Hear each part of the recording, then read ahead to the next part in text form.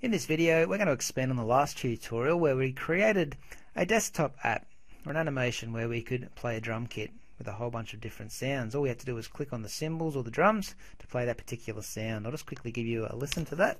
Just take my headphones off. Here we go.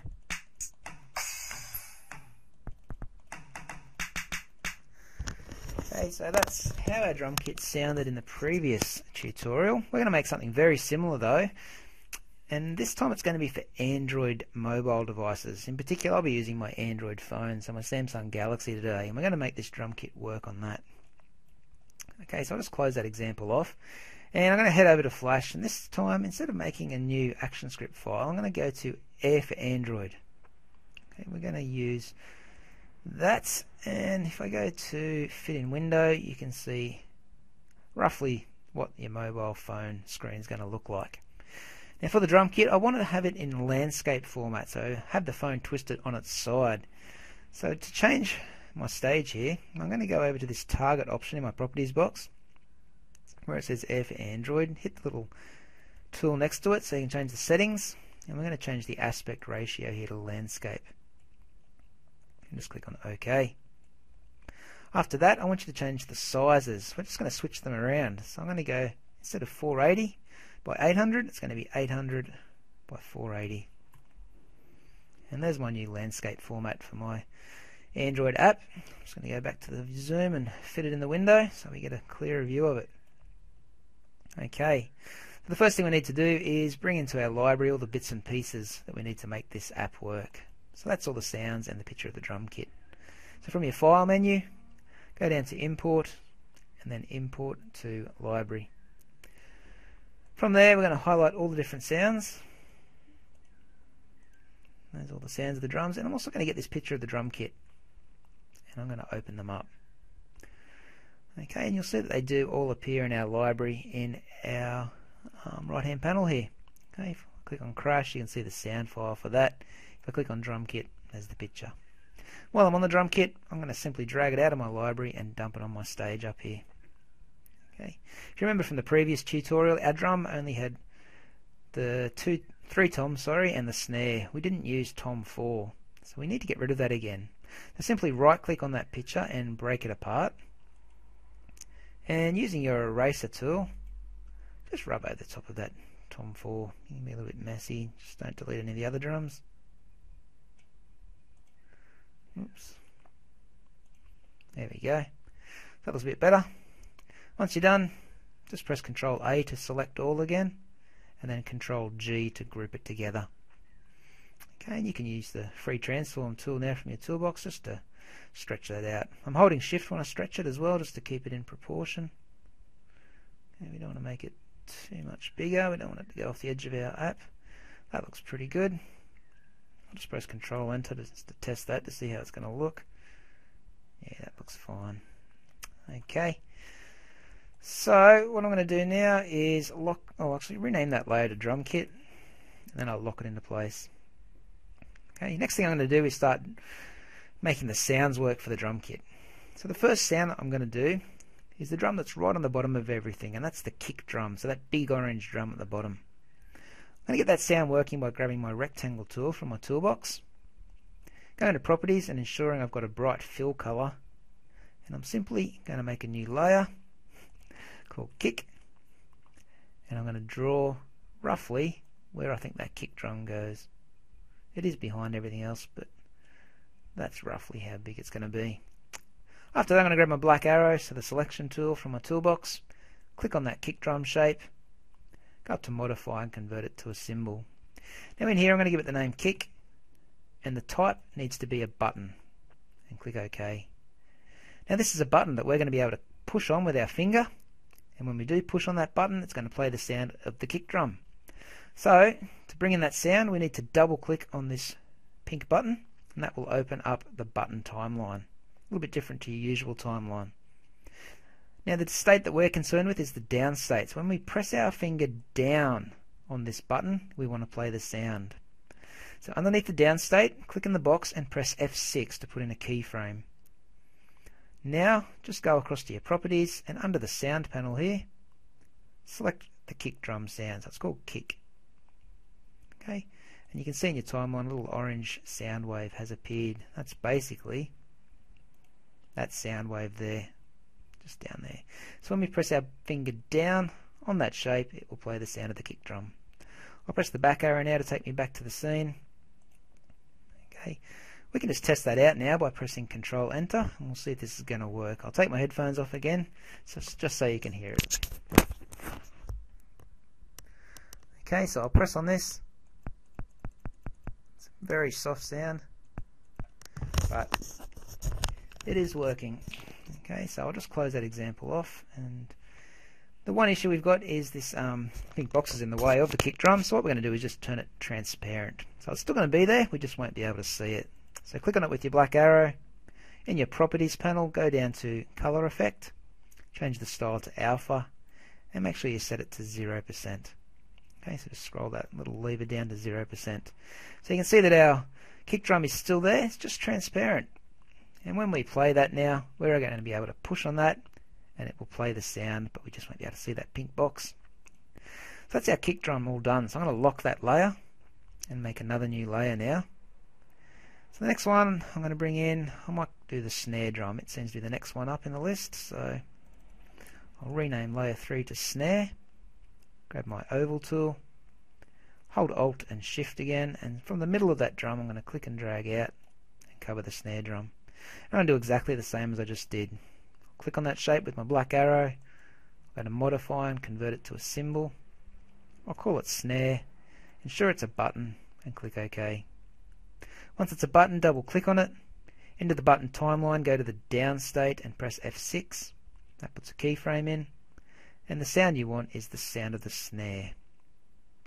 Simply press back, change the color effect to alpha, and make it 0%. That's the snare drum all done.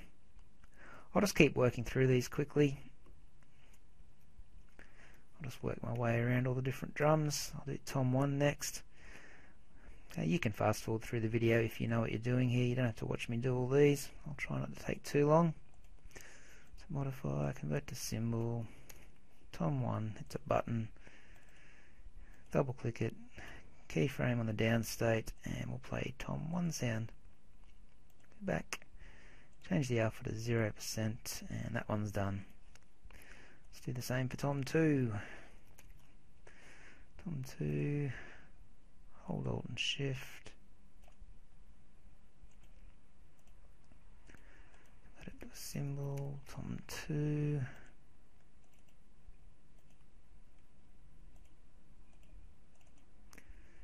And we'll change the alpha. Okay, so Tom 2 is done. Next layer, we're going to do Tom 3.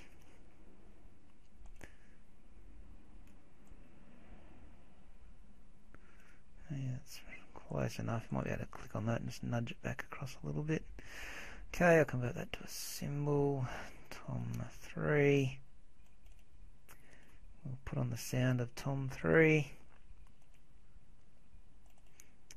And change the alpha to 0. Okay, so that's got my four drums there working as well as the kick drum. Now it's up to the cymbals. So I'll make a new layer. We'll do the hi-hat first. Grab the oval tool. It's basically the same deal. Holding Alt and Shift and just clicking and dragging out. My black arrow, I click on that first cymbal, convert it to a symbol, we'll call it hi-hat. It's a button. On the down state, press F6 and we're going to bring in the sound of the hi-hat. Change the alpha to 0%. That's a cymbal done. Better rename that later hi-hat. Okay, we'll lock that layer. Two more layers left. Got the crash cymbal next. So I'll grab the circle.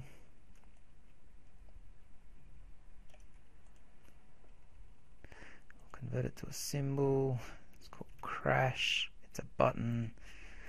We'll double click on it, go to the down state and drop on the sound of the crash. Make it transparent and lucky last is the ride cymbal so I'll make a new layer for the ride.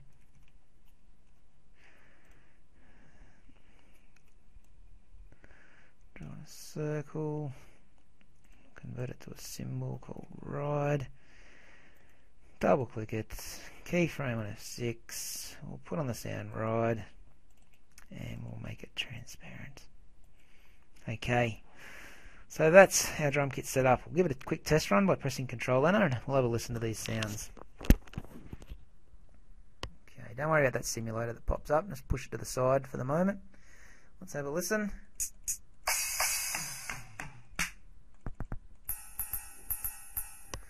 Okay, so when we click on it with our mouse, everything's working. So we can assume that when we press on everything with our finger, it's going to work on our mobile device as well. So let's give it a go at getting it onto our Android device and we'll give it a test run with our finger. Okay, so there's a few things we need to do here. First thing we need to go over to our publish settings and get set up ready for publishing it onto our device.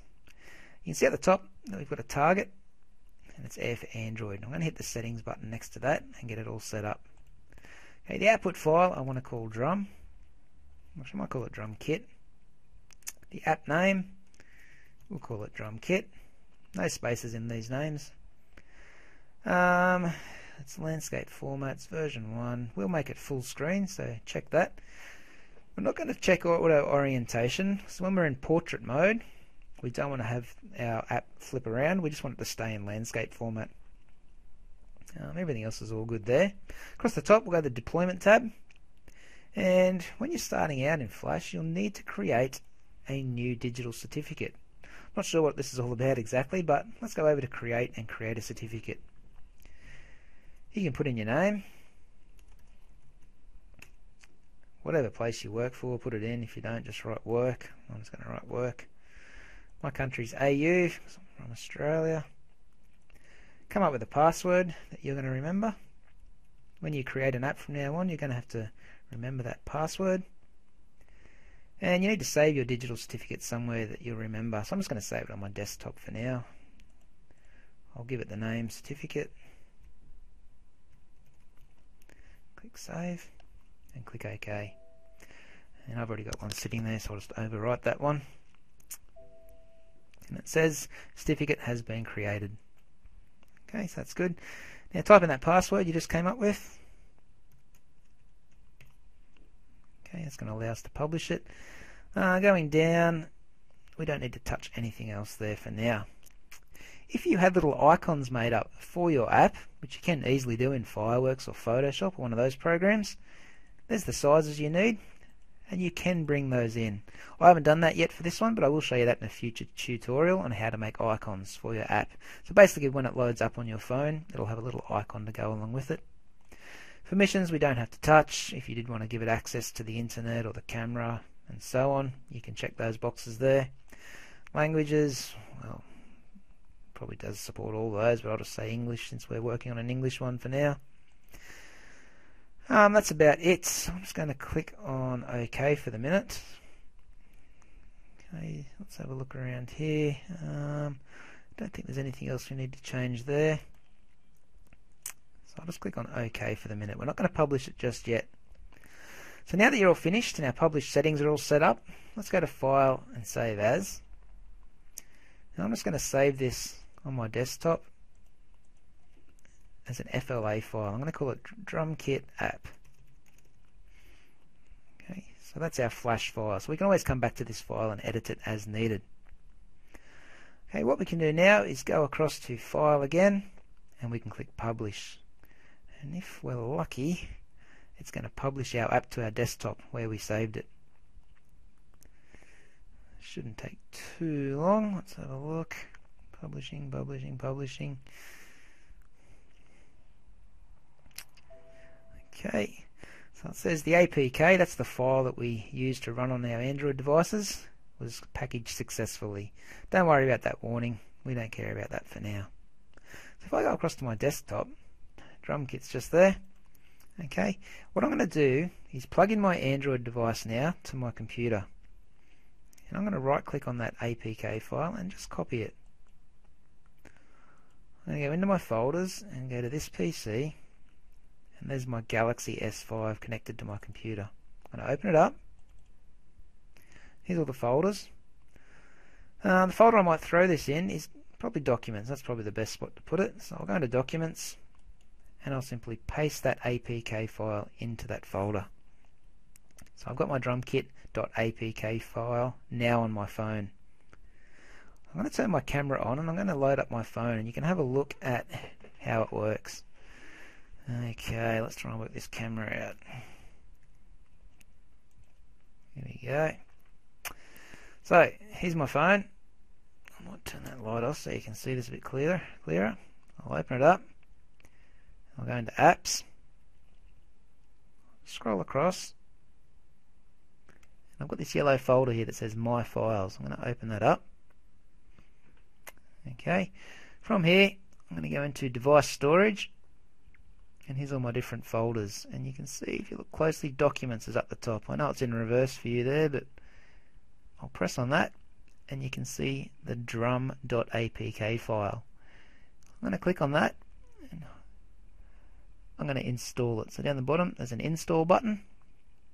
That will just install to my phone. It says it's installed, so I can click open down the bottom.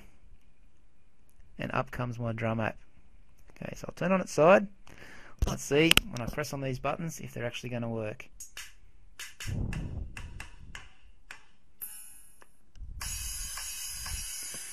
Okay, so I'll just flick this camera off for the minute and we will finish up. Uh, I'm going to try and work this out. there we go, so we'll head back over to Flash now. That's basically it. We've already saved it, so make sure you if you haven't, save it one more time. And that's how we put a drum kit onto our phone and make a cool little drum kit app. Have fun working with that.